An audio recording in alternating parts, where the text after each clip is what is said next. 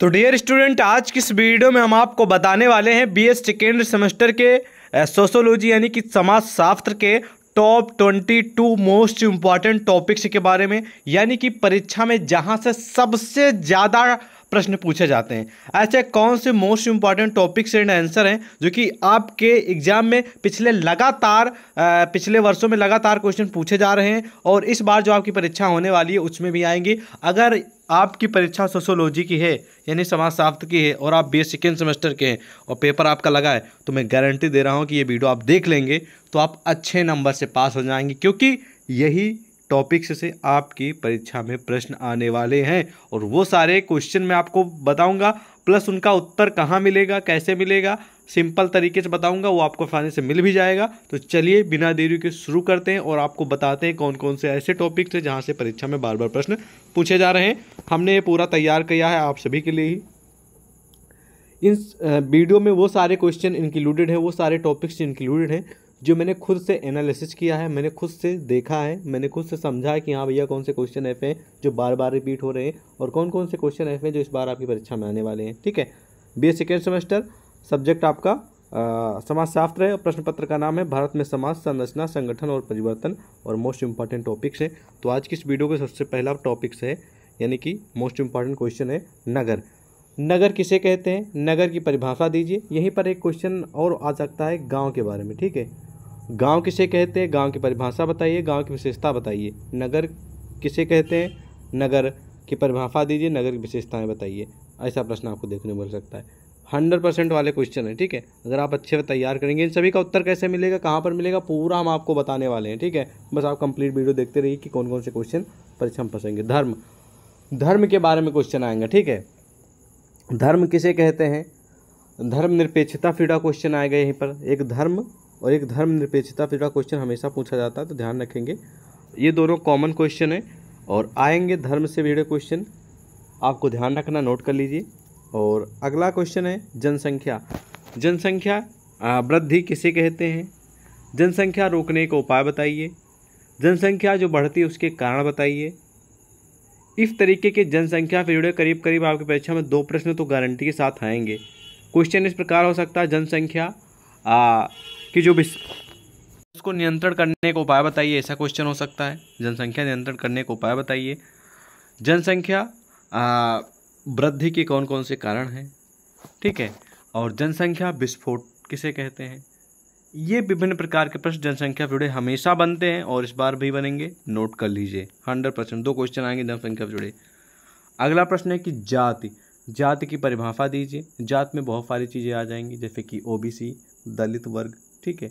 और जाति की परिभाषा, जात की विशेषता, ऐसा क्वेश्चन देखने को मिलेगा। जात से जुड़ा क्वेश्चन एक पाएगा हंड्रेड परसेंट श्योर है। अगला प्रश्न है, संयुक्त परिवार, यानी कि जिसको इंग्लिश में बोलते हैं ज्वाइंट फैमिली ठीक है? यानी कि एक ही घर में तीन पीढ़ियों के लोग एक साथ रहते हो और उन, उनका सब चीज़ मतलब पैसे, रुपये, पूजा पाठ, आना जाना सब एक में हो, ठीक है? मतलब कि एक ही घर में होता हो, एक ही रसोई हो, उसमें एक गार्जियन हो, उसी के मैनेजमेंट में सभी काम करते हो, ठीक है? तो उसको कहेंगे हम संयुक्त परिवार, यानी कि ज्वाइंट फैमिली और ये बहुत ही पॉपुलर क्वेश्चन है। हमेशा फंसता है। इस बार भी आएगा। सियोरिटी के साथ बोल रहा हूँ। हवा में मत लीजिएगा, वरना पछताएँगे बाद में। नोट कर लीजिए इसको भी। अगला है कि विवाह की परिभाषा दीजिए। ऐसा क्वेश्चन हो सकता है और विवाह के उद्देश्य बताइए। और सेम टू सेम क्वेश्चन एक और हो सकता है यहीं पर। हिंदू विवाह। विवाह, फिर क्वेश्चन आ जाएगा। एक हिंदू विवाह। ठीक है? हिंदू विवाह के उद्देश्य बताइए। हिंदू विवाह की विशेषताएँ बताइए। ठीक है?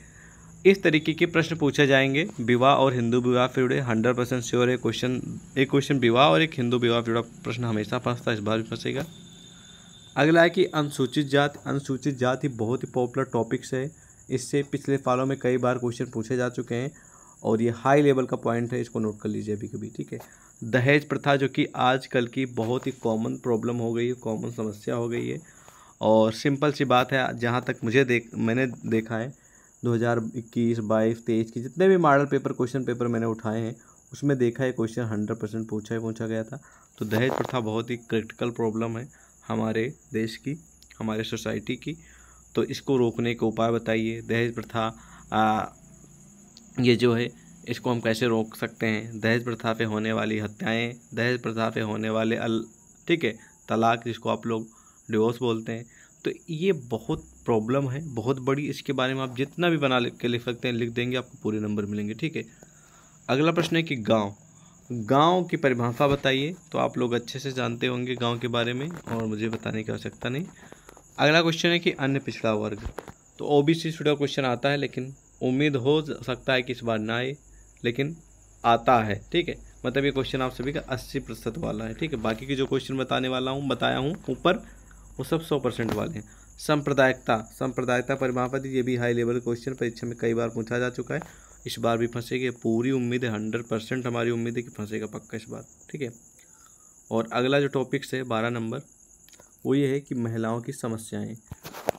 बढ़ती जनसंख्या को देखते हुए महिलाओं की समस्याएँ बताइए, या फिर हमारे देश में महिलाओं की जो प्रमुख समस्याएँ हैं, उनका वर्णन कीजिए, प्रमुख समस्याएँ के बारे में लिखिए, ठीक है? और महिलाओं की जो समस्याएँ उनको सुधार करने के क्या क्या उपाय हैं, इस प्रकार के क्वेश्चन पूछे जाएँगे। बहुत ही महत्वपूर्ण प्रश्न है, महिला पीड़ा क्वेश्चन आएगा पक्का क्योंकि गवर्नमेंट जो है महिलाओं को काफ़ी ज़्यादा आगे बढ़ाने का प्रयास करती है उनके लिए। एक से एक बढ़कर एक योजना लागती है ताकि वो किसी भी प्रकार से पुरुष से यानी कि आदमी से कम ना रहें। इस वजह से दिन, आए आए दिन कोई ना कोई योजना आती रहती तो और अभी भी बहुत सारी प्रॉब्लम है महिलाओं की जैसे कि अपेक्षित रह जाना, ठीक है, और साथ साथ में महिलाओं को पढ़ाई लिखाई के लिए लोग नहीं भेजते हैं। रोज़गार की समस्या, कहीं आने जाने में प्रॉब्लम इस तरीके की बहुत सारी समस्या है जिनको आपको लिखना पड़ेगा। बहुत ही पॉपुलर क्वेश्चन है। हंड्रेड परसेंट फंसने वाला क्वेश्चन तो नोट कर लीजिए। अगला प्रश्न है कि संस्कार, जिसको आप लोग कल्चर ठीक है कल्चर बोलते हैं, ये भी हंड्रेड परसेंट आने वाला क्वेश्चन है। हमेशा फंसता है। इस बार भी फंसेगा।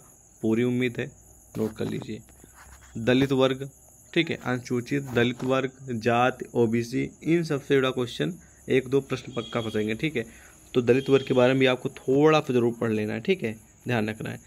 और अगला प्रश्न है कि राष्ट्रीय एकीकरण। राष्ट्रीय एकीकरण से जुड़ा क्वेश्चन आता है, ज़्यादातर आपको ये क्वेश्चन लघु उत्तरे या फिर दीर्घ उत्तरे में देखने को मिलता है। और ये क्वेश्चन आप सभी के लिए अस्सी प्रतिशत उम्मीद है आने की बीस परसेंट ना मान के चलिए, अस्सी परसेंट उम्मीद की मान के चलिए। समय है तो ज़रूर इसका उत्तर थोड़ा बहुत तो पढ़ ही लीजिएगा, ठीक है? अब अगला प्रश्न है कि सामाजिक वर्ग क्या है? सामाजिक वर्ग के बारे में बताइए।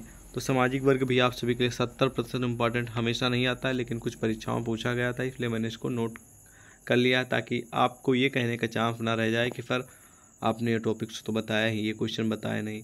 इसलिए मैं इसको इंक्लूड कर दे रहा हूँ ताकि आपके जानकारी में रहे कि हाँ ये क्वेश्चन भी कई बार पूछा जा चुका है, इस बार भी आ सकता है। ठीक है?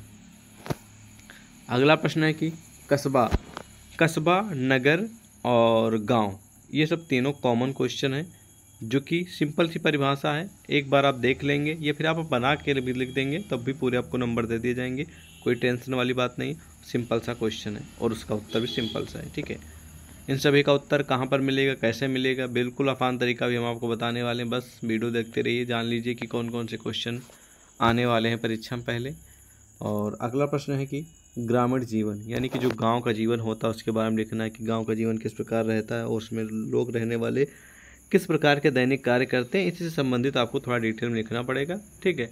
और कॉमन क्वेश्चन हमेशा तो नहीं आता है, लेकिन हो सकता है इस बार आ जाए, ठीक है? हंड्रेड परसेंट उम्मीद नहीं तो आपकी इच्छा तैयार करें दवा इसको इग्नोर भी कर सकते हैं, ओके? अगला प्रश्न है कि पाँच महायज्ञ।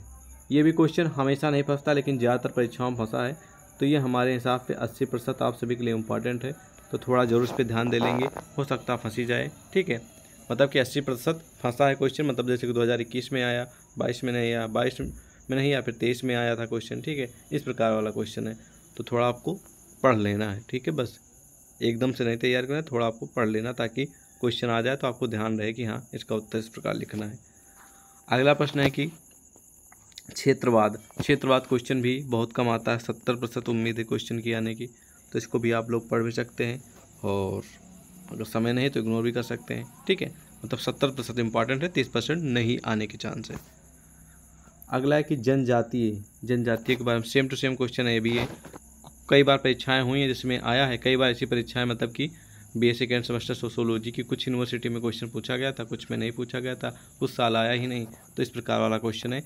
और जो नेक्स्ट क्वेश्चन आपको देखने को मिल रहा है, बाईस नंबर, ये बहुत ही हाई लेवल का हंड्रेड परसेंट गारंटी वाला क्वेश्चन है।